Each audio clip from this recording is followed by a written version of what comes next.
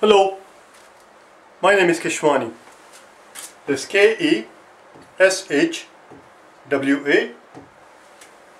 Keshwani.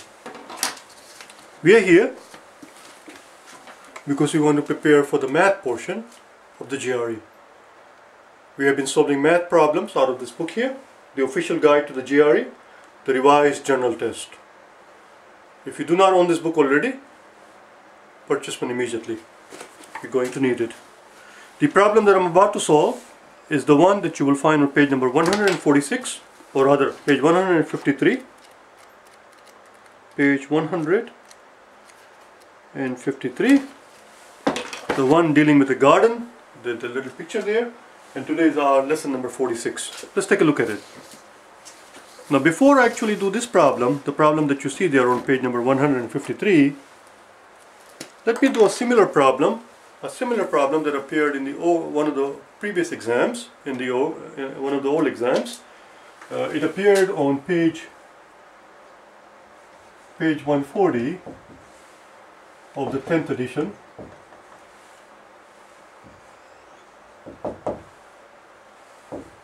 If you just type in, oh, never mind what I'm about to say. This book right here is, is what I'm saying here. Practicing to take the GRE practicing to take the GRE general test, the 10th edition.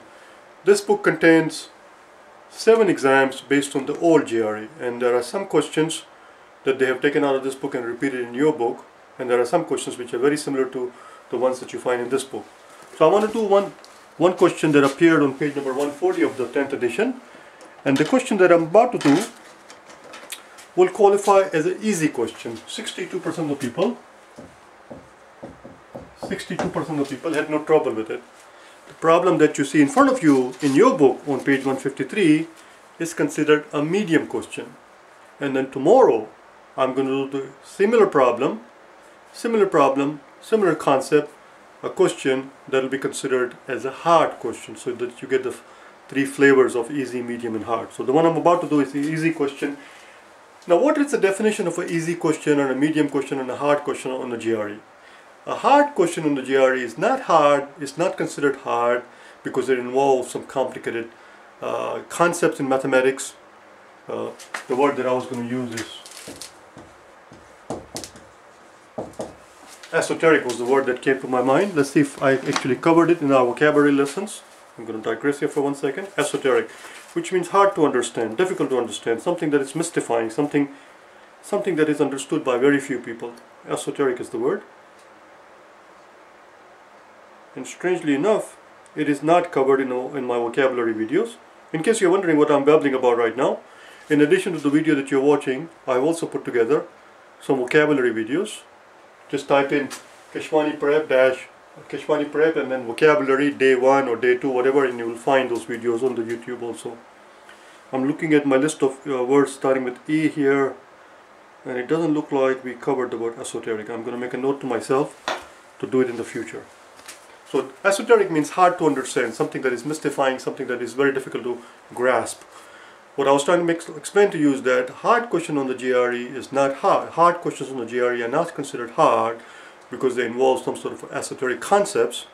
They are hard only because there is something in it, some twist in it that throws off people either because they're not paying attention or for whatever reason and as a result majority of the people end up missing it. Easy question means vast majority of people gets it right. Medium question means about half the people get it right, half the people get it wrong. Hard questions means more than half the people, the vast majority of them, get it wrong. The one about one we are about to do, 62% of the people got it right. Here's the problem.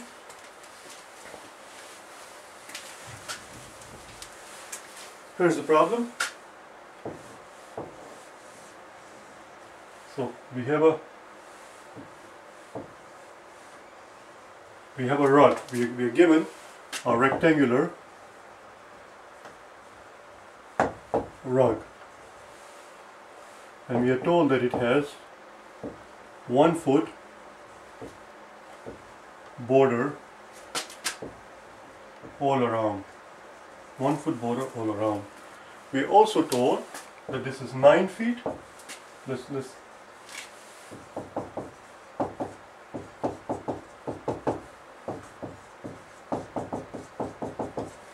let's christen these vertices. Christen simply means to name something. Christen literally means to baptize somebody. Metaphorically, it just means to give somebody or something a name. Let's christen these vertices. What is this thing called in the language of mathematics? It's called a vertex. A vertex is a very fancy way of saying a corner of a picture. And the plural of vertex is vertices. Why do I need to bring, why do I bring this thing to, to your attention? Is because if you do not understand the terminology, then even though you may be you may be able to solve the problem, if you don't know what what the hell vertices are, then you, it might be a problem. The word I'm looking for is christen. Let's see what we covered it. I know I know we did learn it many a times. I have gone over it. 63.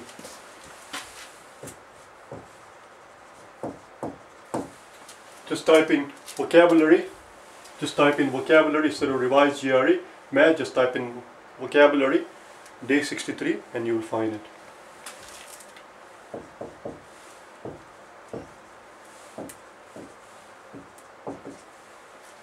So now that we have these names here for them, we can talk about them. So we are told that B to C is 9 feet. We are told that. We are also told that A to B is 6 feet. Question simply is, what is the area of the rug? What is the area? What is the area of the rug? What I want you to do is pause the video at this point, pause the video right now, solve the problem yourself, and once you have the answer, you can, you can resume the video.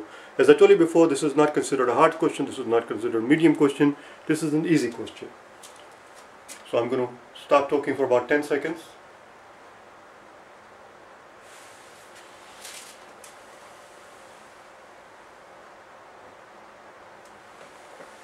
Alright, if from here to here is 6 feet, and we are told that it has a border of 1 foot, it has a border of 1 foot, this is 1 foot, and this is 1 foot. If this is from here to here is 1 foot, this is here to here 1 foot, this means this is 4 feet from here to here. Similarly, from B to C is 9 feet, and we are told that it has a border of 1 foot here and a 1 foot there, so if you take away one foot from this one foot and this one foot from nine feet, we are left with seven feet. So that's it. It has a it has an area. Area of the rug is four feet by seven feet. 28, 28 square feet was the answer. Now let's do the problem that is in front of you, which is on page number 153. Very similar question, but as I said, this is considered a medium question. It says picture rubber represents a rectangular garden. So instead of a rug, we have a, we have a garden. Big deal. We have a rectangular garden with a walkway all around it. The garden is 18 feet by 12 feet. This is where you have to pay attention. So now it is not it is not the outside part. We are not given the area. We are not given the we are not given the dimensions of the outside part, we are given the dimensions of the garden, which is 18 feet by 12 feet. 18 feet by 12 feet. Let's, let's christen these points P, Q, R, S. So P, Q, R, S is our garden, P, Q, R, S, and it has a walkway apparently around it a walkway, a walkway is uniformly 3 feet wide all the way around. Okay. A walkway is, it has a 3, not 3 foot, but 3 feet. I'm not sure if it's going to be 3 foot or 3 feet.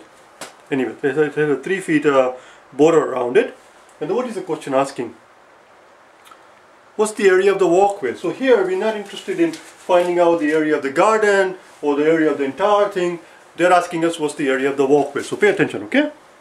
We are looking for, we are interested in the area of the walkway.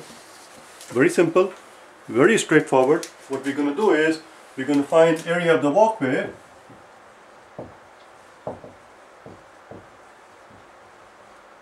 area of the walkway should equal the outside part which is ABCD minus the area of the garden which is PQRS. That's all. So if you take the outside part, the area of the rectangle ABCD and subtract from it the inside part PQRS, what we're left with is the area of the garden, uh, uh rather area of the walkway.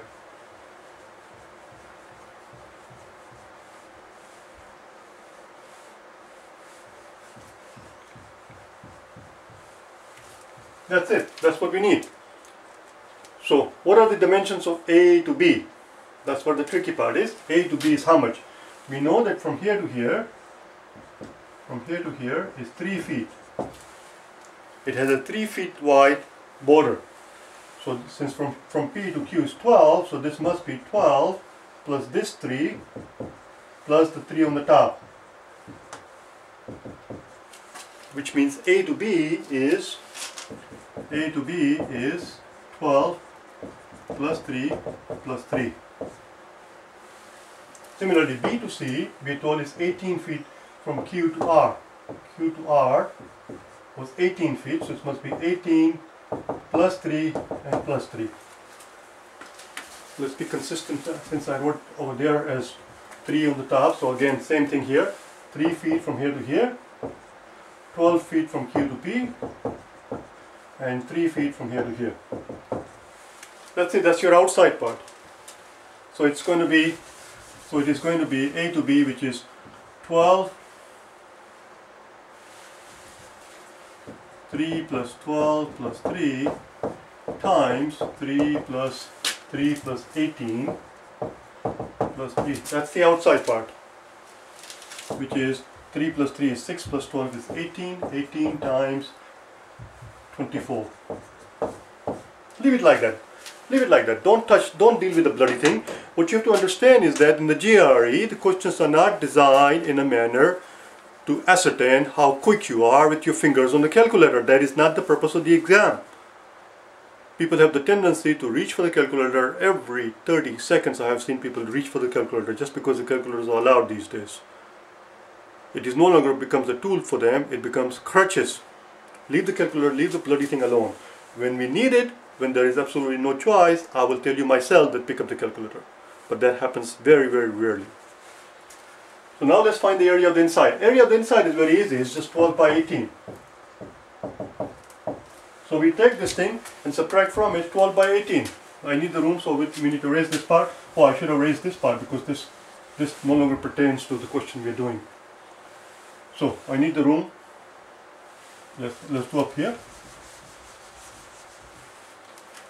So area of the walkway area of the walkway is 18 times 12, 18 times 24 rather, minus 18 times 12.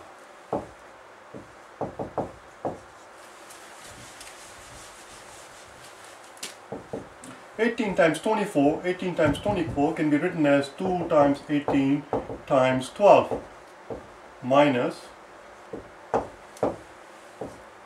18 times 12. So if you have 2 of something, if you have 2 of something, this something is 12 by 18. If you have 2 of something and if you take away 1, you're left with 1. So 2 times 18 times 12 minus 18 times 12 is just 18 times 12. 18 times 12. Let's continue here. As I said, if there is a need for calculator, I will ask, I will tell you myself. I, again, I need the room, so I need to keep erasing it. Well, we know that 18 times 10, 18 times 10 is 180. 18 times 10, that represents 18 times 10. If I add two more 18s, we are all set. So here's another 18 and here's another 18. Just do it out, don't for the calculator. 8 plus 8 is 16, 6 carry 1, 1 plus 1 is 2, 10, 11.